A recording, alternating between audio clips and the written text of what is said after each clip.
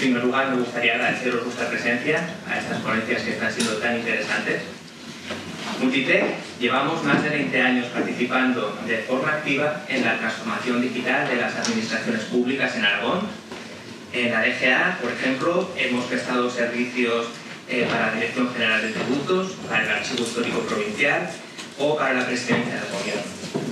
Y en el Ayuntamiento de Zaragoza estamos eh, realizando servicios de digitalización documental para gestión tributaria, inspección tributaria, el departamento de personal o urbanismo. Es decir, me ha resultado complicado el elegir un tema para una ponencia en un ámbito como eh, administración pública, donde presumiblemente gran parte de los asistentes ya nos conocen o tienen referencia de nuestra empresa, por sus 20 años de experiencia.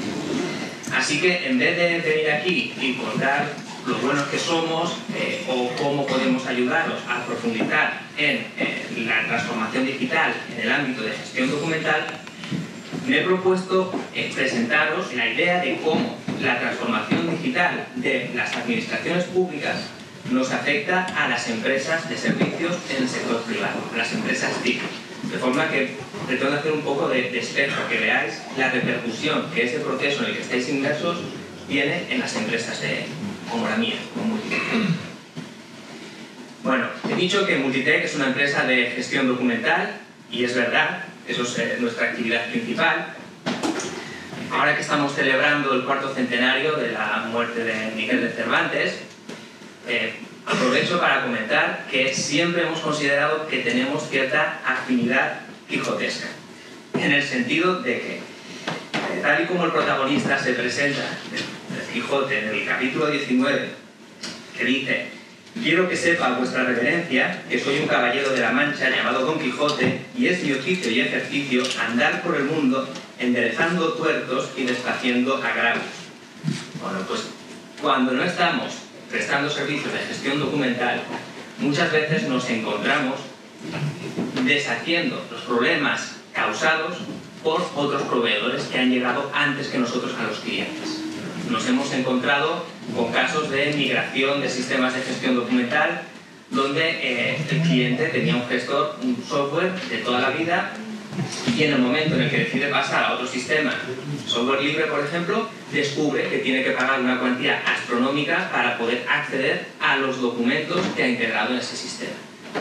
Bueno, pues afortunadamente por nuestra forma de proceder siempre le hemos dejado a ese cliente una copia en un soporte externo de las imágenes de forma completamente accesible y pues, nos ha encargado el hacer esa migración a partir de las copias externas a su nuevo sistema de gestión documental, incluyendo una transformación del formato de fichero.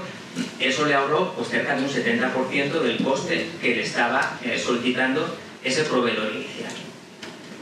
Otro de los casos que hemos encontrado, los informáticos del cliente habían empezado a desarrollar un gestor documental en Alfresco y por otro lado habían adquirido multifunciones para todos los puntos de entrada los pocos meses de empezar el proyecto, lógicamente pues cada usuario de esas multifunción había empezado a usar criterios de digitalización completamente distintos. En unos casos estaban digitalizando hasta 600 dpi en color, otros casos en blanco y negro, eh, en fin, una locura, ¿no? Imágenes sueltas, imágenes multi-PDF, eh, ingestionable. Al final nos llaman a nosotros y dicen, oye, ¿qué hago? ¿Qué puedo hacer? No quiero extenderme más en, en ejemplos de este tipo, pero desgraciadamente eh, se dan, se producen y no acabamos de entender bien por qué, porque la tecnología existe, el conocimiento está ahí. Entonces, bueno, nosotros llega un momento encargamos una pequeña encuesta, un estudio de mercado, preguntándonos por estas cuestiones. Y eh, lo que descubrimos fue que, sobre todo en el sector privado, nuestros clientes desconocen la existencia de empresas especializadas en gestión documental y tienden a confiar en sus proveedores informáticos de toda la vida. Son expertos en informática, pero no con una especialización en la gestión de documentos, en los flujos de trabajo, etc. Y por otro lado, descubrimos que habitualmente eh, los procesos de gestión documental no se dimensionan suficientemente bien la parte inicial de consultoría, de conocimiento, de planificación. Es decir, muchas veces van directamente a la compra de dispositivos o de programas informáticos. Suele ir acompañado, lógicamente, de eh, una fase de preparación de puesta en marcha, pero el alcance de esta normalmente suele ser insuficiente. Entonces, nos encontramos con que los clientes, lógicamente, no pueden ser expertos en gestión documental, es una materia muy densa, muy compleja, donde cada vez eh, se ha ido normalizando más. Y por otro lado, nos encontramos con proveedores que no siempre le han contado al cliente cuáles eran sus necesidades o no siempre han sabido identificar todas sus necesidades. Con lo cual han optado pues, por vender eh, su producto, su servicio y dejar eh, áreas un poco desatendidas, lo cual ha acabado degenerando en eh, problemas posteriores. Eso acaba suponiendo que se genera una desconfianza de muchos clientes en el sector hacia los proveedores de soluciones de gestión documental como nosotros. Y es ahí donde enlazo con la evolución de la administración pública en tecnología.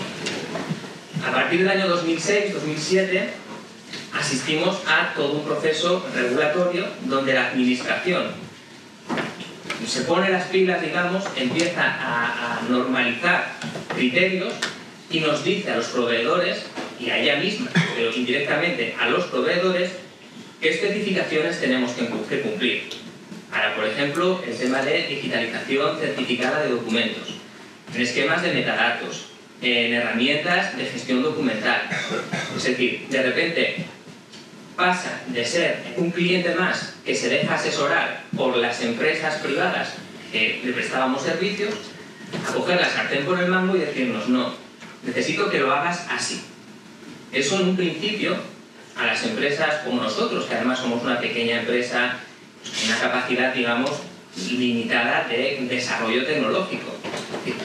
Pues puede suponer un, shock, pero una vez superado, una vez que conseguimos adaptarnos y se nos plantea el reto, eh, desde luego nos ha servido para presentar a nuestros clientes del sector privado formas eh, sistemas de trabajo y especificaciones que sí que dan una tranquilidad, una seguridad.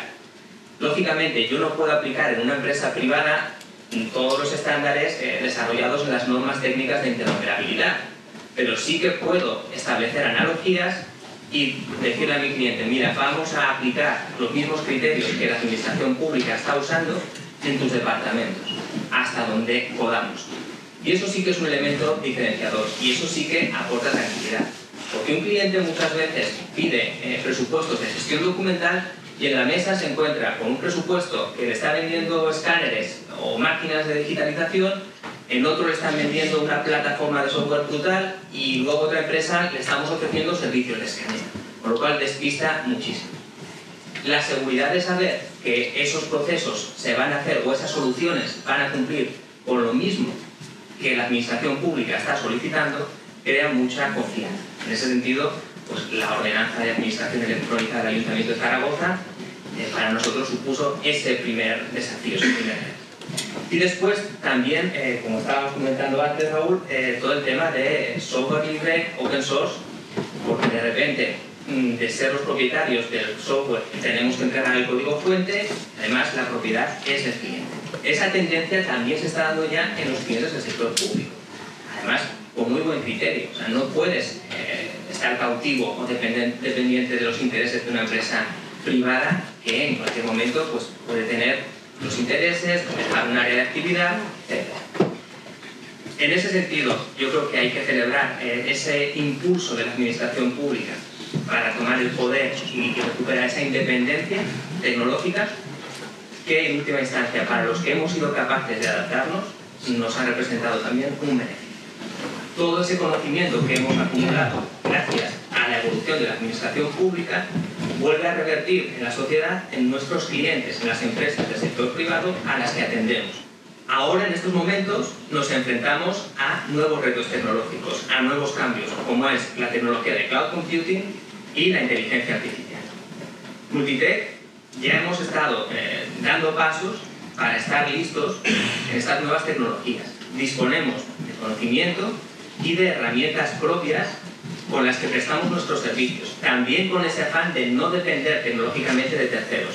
Lo que necesitamos es saber qué va a hacer la administración pública, cuál va a ser su postura ante estas nuevas tecnologías, porque queremos estar ahí, hemos tenido una buena experiencia con esa primera iniciativa de, asumir el poder, pero ahora nos encontramos de nuevo con eh, cuestiones de seguridad, de privacidad, eh, que desde luego las decisiones que tome la administración pública van a marcar también la línea de actividad que adoptemos muchas empresas del sector privado con el resto de nuestros proveedores.